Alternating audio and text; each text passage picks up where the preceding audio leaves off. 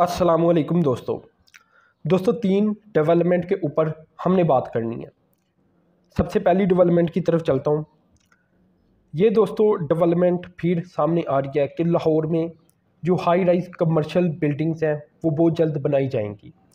मतलब ये पहले भी प्रपोज़ल था, अब दोबारा से सामने आ चुका है। गालबन जो फ़िरोज़पुर रोड है, वहाँ ये प्लान किया जा रहा है कि हाई राइज बिल्डिंग लाहौर में होनी चाहिए। बिल्कुल होनी चाहिए। लेकिन ये कब तक सिर्फ़ प्रपोज़ल ही सबमिट करवाते रहेंगे? कब इसका बाकायदा जो काम है वो शुरू होगा? क्योंकि इसको जो रिव्यू किया गया ये दोबारा से caretaker chief minister Punjab Mohsin Naqvi की जानब से किया गया अतवार वाले दिन। तो पता नहीं है कब तक रिव्यू करते रहेंगे, कब तक प्रपोज़ल सेंड करते रहेंगे, या प्रपोज़ल को लेकर बातचीत करते रहेंगे। पाकिस्तान में अगर कोई काम सोचा जाता है तो वो इतना लेट क्यों हो जाता है? ये सोचने वाली बात है। हाई राइज कमर्शियल बिल्डिंग्स और बिज़नेस एक सेंटर बनाने का मकसद ऐसा है कि जो इकनॉमिक एक्टिविटीज़ हैं वो बढ़ें। और ख़ूबसूरत भी सी बात है, लाहौर इस तरह लगेगा अगर प्रॉपर प्लान तरीके के साथ हाई राइज बिल्डिंग बनाई जाए। होनी चाहिए पाकिस्तान में और लाहौर में तो ख़ास तौर पर होनी चाहिए। तो खैर, ये फिर एक प्लान सामने आ चुका है दोबारा से। अब मुझे वैसे अगर मैं इस पर अपना कमेंट करना चाहूँ तो ये करूँगा कि अभी तो केयर टेकर गवर्नमेंट है, इनके दौर में तो ऐसा कुछ नहीं होने जा रहा। अगर ये फ़र्द कर लें, फ़र्द कर लें छः माह और रहती हैं या साल और रहती हैं, फिर भी नहीं होने जा रहा। क्योंकि ये इस तरह के प्रोजेक्ट हैं, जहाँ अरबों रुपए की इन्वेस्टमेंट आनी है और अरबों रुपया ही जनरेट होना है। ज़मीनों की मद में ही गवर्नमेंट ने अच्छे खासे पैसे कमा लेने हैं और टैक्सेस की मद में अलग से। तो जो प्रॉपर गवर्नमेंट आएगी पाँच सालों के लिए, मेरे ख्याल से तभी इस तरह की कोई बड़ी डेवलपमेंट सामने आएगी। लेकिन खैर, एक बड़ी डेवलपमेंट सामने आ चुकी है। और वो है पाकिस्तान की रेमिटेंसिस के मतलब बड़ा लंबा टाइम हो गया रेमिटेंसिस डिक्लाइन का शिकार थी पाकिस्तान की। लेकिन मार्च में सताईस या चार परसेंट बढ़ी हैं फरवरी की नस्बत। पिछली फरवरी और ये वाली मार्च जो भी गुजरी है, इन दोनों का कंपैरिजन मतलब अभी 2023 की फरवरी मार्च का कंपैरिजन ठीक है? तो दो शरिया पाँच अरब डॉलर की रेमिटेंसीज रही हैं, जबकि जो फरवरी था, इसमें दो अरब डॉलर की रेमिटेंसीज थी। अब ये जो रेमिटेंसीज हैं गालबन पिछले सात माह की हाईएस्ट स्टेज के ऊपर आ चुकी हैं। यानी पिछले सात माह से इतनी रेमिटेंसीज पाकिस्तान में आई नहीं। तो ये है कि अगर हम नवाज़ शरीफ के दौर की तरफ़ जाएँ तो रेमिटेंसीज बढ़ती थी।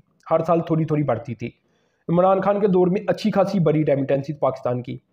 अब जब से इमरान खान का दौर गया था रेमिटेंसीज कम हो रही थी। अब इस माह फिर दोबारा से थोड़ा सा बेहतरी आप कह सकती हैं कि रेमिटेंसीज में आई हैं।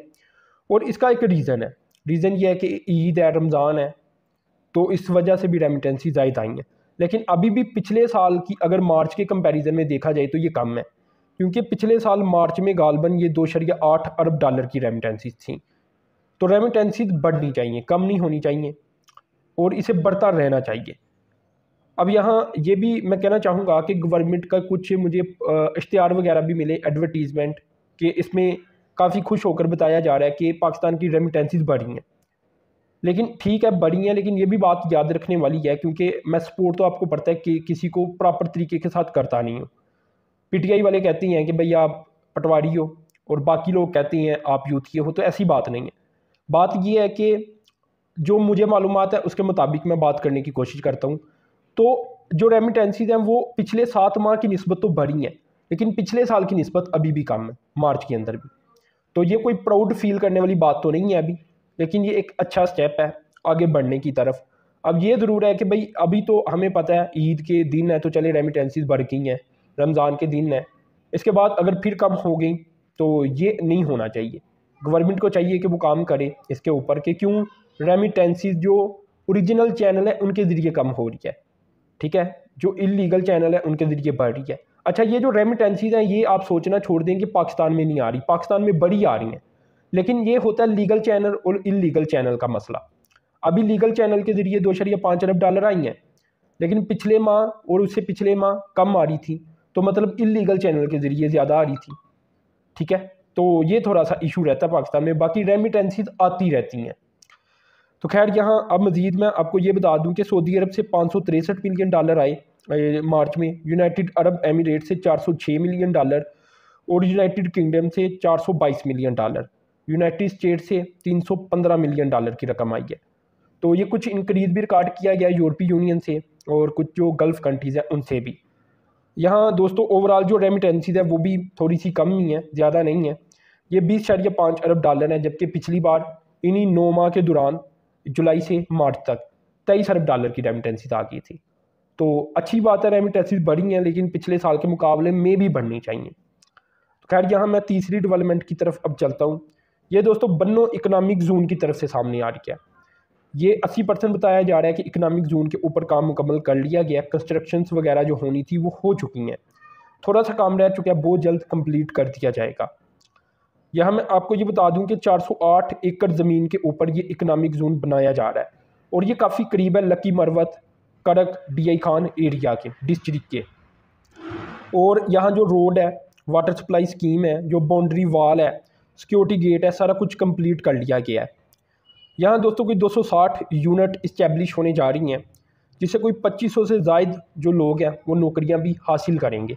और ज़्यादातर जो आसपास के लोग हैं, उन्हीं को जॉब्स वगैरह दी जाएँगी। तो ये बड़ी अच्छी डेवलपमेंट अलहमदिल्ला सामने आ रही और ये दोस्तों जो इलाका है जून बनता है, ये मिनरल और एग्रीकल्चर जो सेक्टर है, उसके लिहाज से काफ़ी अहम है।